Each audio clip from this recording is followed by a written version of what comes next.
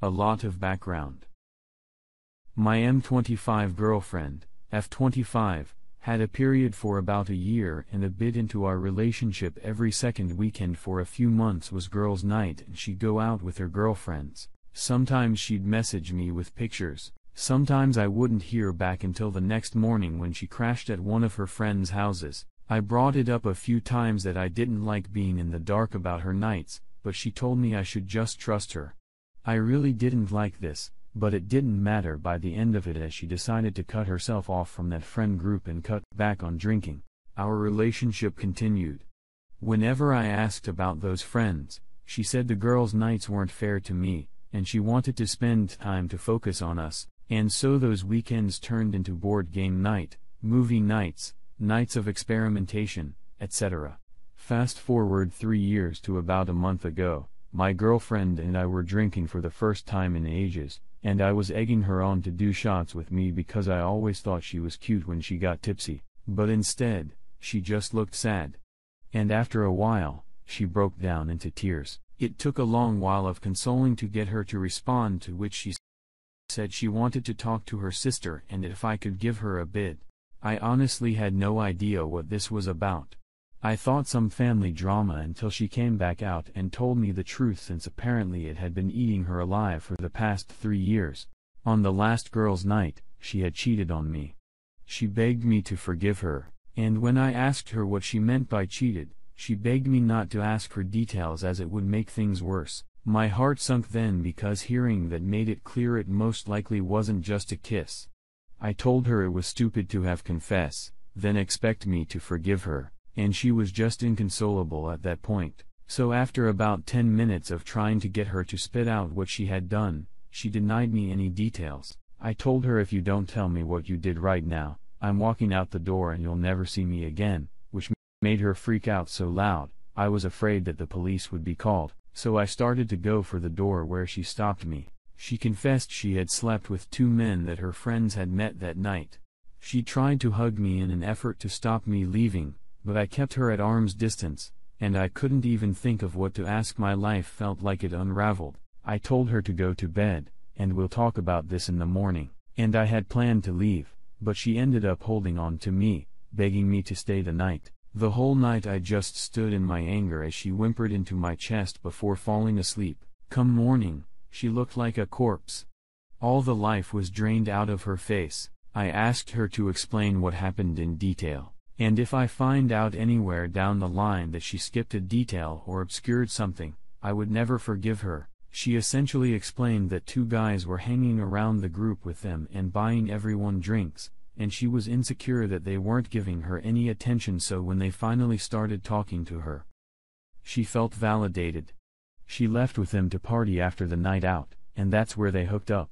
The speech sounded like the culmination of three years of reflection on that night. The first question to the top of my mind was so both at the same time, to which she said yes, and that made my skin crawl. I then asked if she still had contact with them to which she responded. She doesn't even know their names. I asked if she got an STD test to which she looked a bit annoyed at first, then immediately dropped the face, and she said yes, and they wore protection. I had to ask on top of that if the STD test was negative to which she said yes. I then started looking for reasons. Were you on drugs? Were you forced? Did they threaten you? All knows. I then asked why.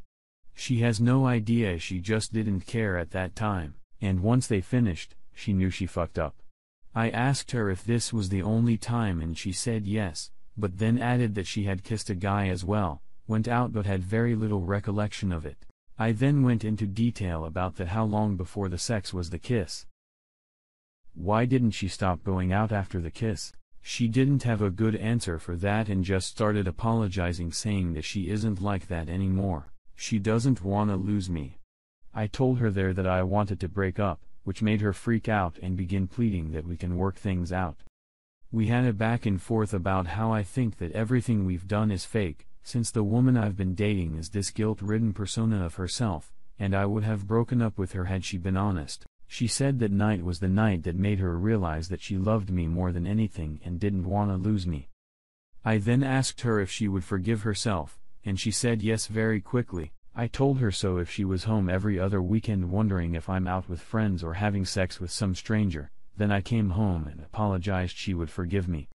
She said if I was honest about it and wouldn't do it again, then yes, she would. I said she's full of shit, but she stood by it saying that is honestly how she felt.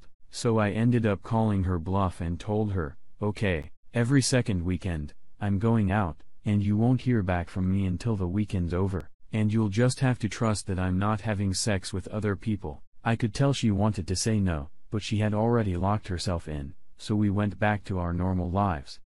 I was obviously cold to her at first, but she put on a brave face thinking we were making it through this. The weekend came, and I said I'm going out, and she looked like a ghost, but didn't stop me. I assumed she thought I was bluffing, which I suppose I was. I went to my friend's house who knew about the whole situation, and we just binged some TV shows and had a few drinks. I ignored all her messages during the time, and when I came home, she gave me a big hug and kiss and looked like she was trying to see my night through my eyes, but I gave her nothing. This became a routine and she was walking around like a zombie 247, and I thought about giving up the ruse a few times because I saw the woman I loved for a brief moment, but then the thought of her cheating on me would always pull me back to this vengeful state. My friend told me what I'm doing is evil, and I should just dump her if I can't forgive her to which I agree I'm not getting a kick out of seeing her dying inside. It honestly makes me feel awful, because I know what a great loyal girlfriend she would be now, but I just can't love her anymore. I need to tell her now that there is nothing we can do to fix this. I can't move past what she did, but I'm worried about the fallout from this situation I've put her through.